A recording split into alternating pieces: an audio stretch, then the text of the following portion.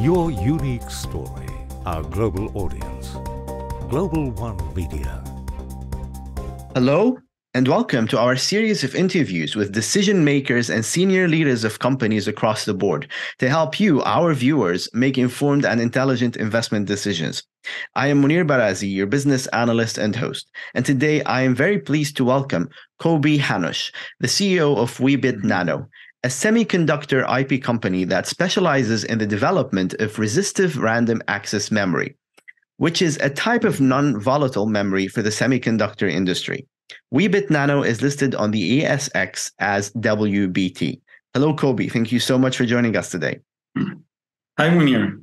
How are you? I'm good. Thank you. So, could you start by telling our viewers who are not yet familiar with Weebit Nano about the company, its unique advantage, and how far it is ahead of its peers? Mm-hmm. Okay. Um, well, I'll start uh, by explaining. Uh, I'm sure that not everyone knows the semiconductor market. So, you know, just very quickly, semiconductors are all around you. Uh, practically anything you touch has semiconductors in them today. And I think people have have noticed that even when they order uh, refrigerators or something, sometimes they're late because they don't have the semiconductors. Um, we're developing memory technology, which is the largest segment in semiconductors, and specifically non-volatile memory. So those are the memories that don't lose the data when you unplug them from the power, like a USB stick, for example. Um, now, this market is is really booming now.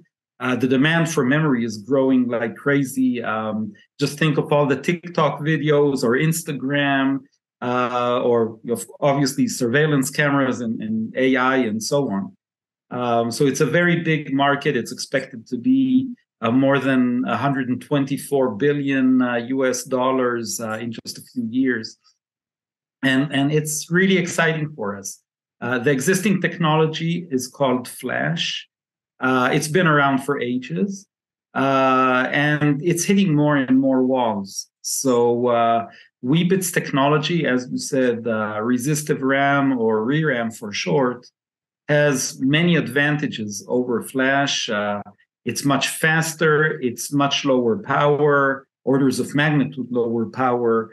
Um, it's uh, it has many other advantages. I'll focus on the two most important ones. Uh, you might know that in semiconductors, everything is shrinking um, there's what's called Moore's law. Some people know it. Uh, you manage to put much more silicon on every piece of, uh, much more um, components on every piece of silicon uh, all the time. Uh, Flash has stuck uh, basically at uh, 40 nanometers. It can't really shrink anymore. Uh, the world is continuing to shrink. We're down to 22, 16, 12. The more advanced designs are even at five and three nanometers. So obviously, all these new adva- new advanced applications they have a challenge when they want to add memory into their uh, design. Uh, so we can go down to the smallest geometries. We already showed that we're working at 22 and even now working with customers on, on smaller geometries than that. Uh, and the last thing I'll say is, uh, and the most important advantage is the price. We are much easier and simpler to manufacture. Uh, we add about five to seven percent to the cost of a wafer, a silicon wafer. Uh, flash adds about 10 to 20 percent to the cost of a wafer, and other memory types can even go up to 30, 40, and, and more added costs. So uh, we feel like we're in a very good position. The technology is very uh, competitive. Uh, we've been focusing on making it uh, easy to adopt. And uh, yeah, it's exciting times. Now we're transferring it to mass production. Fascinating. And as you said, the semicon- semiconductors are essential in, in almost all electronics. And you're managing to push this technology further and make it more efficient. Can you elaborate a bit on the use cases and benefits of your technology for users? Perhaps you could mm-hmm. give real life examples mm-hmm. of how beneficial it is. Yes. Uh, so, I mean, first of all, just so you understand, any digital device needs uh, a non-volatile memory. So really, any application needs it. Now, for every application, we have different advantages. Uh, for example, um, when you're talking about uh, uh, cars, today cars have hundreds, many hundreds of electronic components in them. There are so many sensors and other elements. Some of them are in the engine. We can operate in very high temperatures, for example. So we can actually fit in, in an engine of a car and, and work there. Uh, we're very low power consumptions. So all of the different IoT uh, battery operated uh, devices, you know, obviously nobody wants to charge in the middle of the day. You want the battery to last at least until nighttime. Uh, so we consume 100 times less power than flash. That makes a huge impact on battery life. Um, you know, if you look at space applications where there's very high levels of radiation from the sun, our technology is uh, radiation tolerant by by its very nature. So so that's a big advantage. And I can go on and on to many applications, but you can see that really in in every application has a list of advantages when they use uh, our ReRAM. Those are great benefits. And I'm sure, as you said, we can come up with more benefits if we include also the ongoing AI revolution with the mm-hmm. With all of the generative AI uh, tools. Um, if you could uh, elaborate a bit on the current market opportunity uh, for your ReRAM technology and, and about how you plan to establish a prominent position in this market. So it's really a, uh, a, very exciting time now in this industry. Uh, for years, when I would talk to people about ReRAM, it was always, you know, really exciting technology, right? It's that future thing. And, and I'm very happy to say it's not the future anymore. It's here, it is, is now, it's available. And suddenly the whole market understands it. So Weebit over the last 12 months went through what's called qualification. So, this is a very rigorous process that was defined by standards bodies, where you take hundreds of chips from uh, different manufacturing lots and you test them and you, you, you really torture them. Uh, and at the end, you show the results and you show that the chips pass they meet the specification there's uniformity and consistency you know the things that you want to see in mass production so we actually have that stamp of approval that we're ready for mass production um, we also already signed an agreement with the first commercial fab a fab is where you manufacture semiconductors and we have wafers from that fab that are functional and we're now uh, qualifying them and, and doing all the testing there. So, you know, we showed that our technology is ready. Um, in addition, uh, the biggest fab in the world, TSMC, announced that they have uh, ReRAM technology. So it's really, you know, it's legit to ask for ReRAM, and and customers are now going to all of the fabs and asking to have ReRAM. It's more advanced than Flash. Um, and so we're we're really seeing the, the other fabs, all of the big fabs are looking for ReRAM technology that they can provide. They need to compete with TSMC. Uh, one of the things that happened is that many of the ReRAM providers uh, have basically disappeared. Uh, you know, for all kinds of reasons. Um, some of them tried to work with non-standard materials.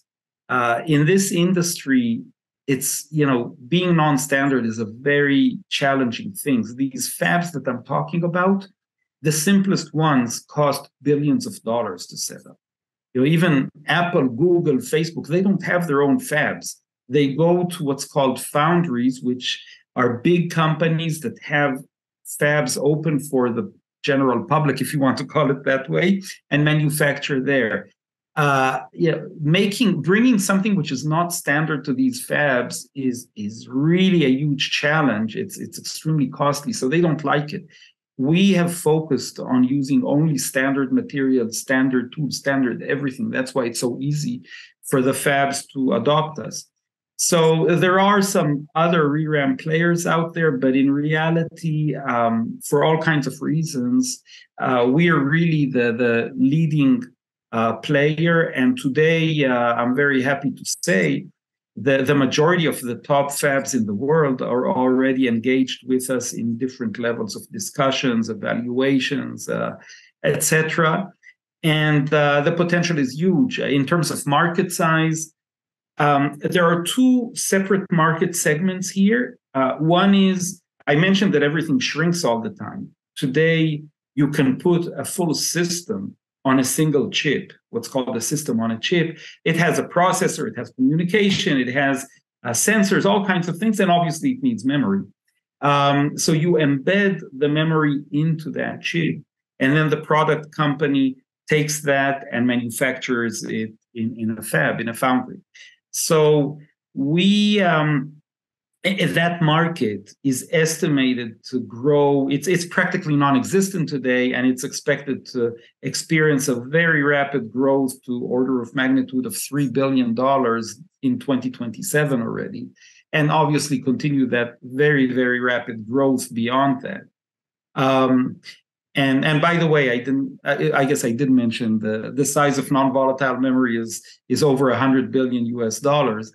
Um, another application is when you have chips that they are completely only memory, basically. So we call them discrete or or standalone memories.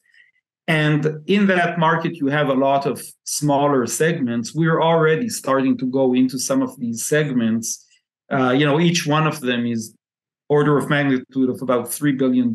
So we're already addressing um, a market which is maybe getting close to $10 billion. And obviously, it will continue to grow until it eventually gets closer to that $100 billion mark. Very impressive. And there's certainly a lot of potential there. And you've managed to overcome that challenge regarding the use of standard materials. Um, but what other challenges are there when you're trying to scale this technology, and what are you doing to overcome those challenges? Well, developing semiconductors in general is very, very, very challenging and very difficult. Uh, you know, I mentioned the fabs. Fabs uh, are are a hundred thousand times cleaner than where you do open heart surgery you know it's it's hard to even grasp that even one speck of dust is is is like a bomb falling in the fab so you know you need to really work now i mentioned earlier what we're talking about are elements that are measured in nanometers you know a nanometer i know it, most people can't even think about what it means but it's it's 10 to the minus 9 of a meter and you know, if you put a nanometer next to a cross section of a human hair it's uh, even smaller than when you put a mouse next to the Empire State Building. It's it's really tiny. You you need to be very very precise when you're developing. You're almost putting every molecule in its place. So the development of semiconductors is a huge challenge. Um, normally, developing a technology like this takes 10 or 15 years or even more. Uh, you know, Weebit has been very fast to develop it, only seven years, uh, because uh, or thanks to our development partners, uh, where we we do the R and D, and they have a lot of experience in memory, and we're leveraging their experience. Uh, so uh, it's very hard to go into the technical details of the challenges, but I think you're getting a feel for how complex this is. It's no wonder that fabs cost billions of dollars to set up. It's very delicate machinery. Everything is extremely delicate. Uh, each time you want to test something, you know, when you develop a software, you just recompile and, and you know, within minutes or hours at maximum, you you have a new version. In semiconductors when you send something to manufacture it's many months until you get it back and you can actually test if what you fixed is working. So it's it's very challenging all of this. But it seems like you're on top of all of those challenges um, and my last question has to do with uh, any updates or catalysts that investors might want to hear about? Well, uh, the big news is that we're no longer just focused on r&d and we are qualified and we are working now with the large uh, foundries. So the the big thing right now is more developing the business. Uh, we're expecting to uh, to start signing agreements with uh, some of the large foundries. Uh, we're expecting to start signing up some customers. Um, again it's it's a that's already also a huge challenge because since everything is so costly here and the risk is so high, people are very naturally hesitant to to sign up on a new technology before they actually saw it working. You know, nobody wants to be the first one. So it's it's a big challenge, but we're making very good progress. People are seeing the results. They're testing our technology. Uh, they're seeing uh, that it works, that it has good results and that's really the the big focus this year to to get uh, to the point where we start having these agreements you know even very initial uh, revenues but really starting to move into that uh, direction very promising and i'm sure investors will be watching for all of those updates coby hanoch the ceo of weebit nano thank you so much for sharing all of those updates and insights we look forward to seeing you again and hearing more updates from Weebit Nano soon. Thank you very much.